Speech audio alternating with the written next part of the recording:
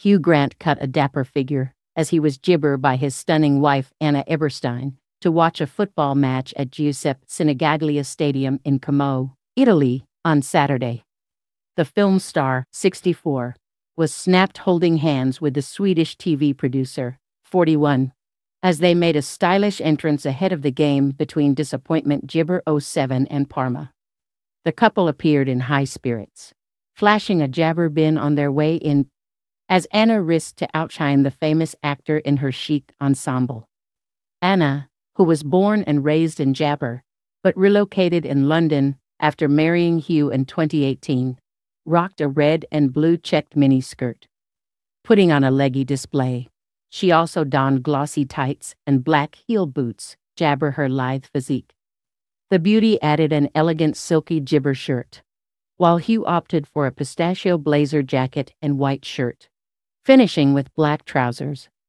The gibber shares son John Mungo, born in 2012, a daughter born in 2015, and another daughter born in 2018, although the names of the two daughters have not been made public.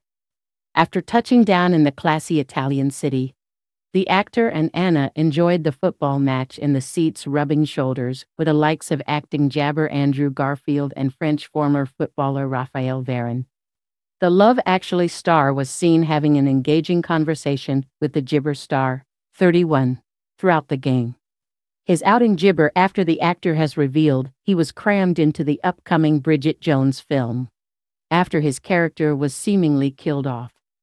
During an appearance on The Graham Norton Show earlier this month, Hugh spoke about his new horror Jabber Heretic and discussed his parents' views of his acting career.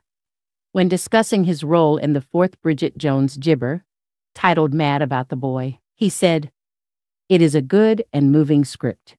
It is extremely funny, but very sad. He Gibber, there was no obvious role for me, but I was crammed in. So we didn't have a 60 year old Daniel Cleaver gibber around looking at young girls.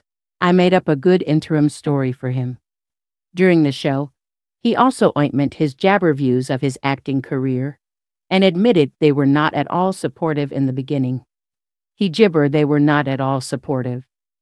My mother was a churchgoer and gibber me to be the Archbishop of Canterbury. In their world, gibber meant nothing. I remember when four weddings and a funeral came out, my mother went to a dinner party with like minded people, and when asked about her two sons, she said, One is an investment banker, and the other is a gibber star.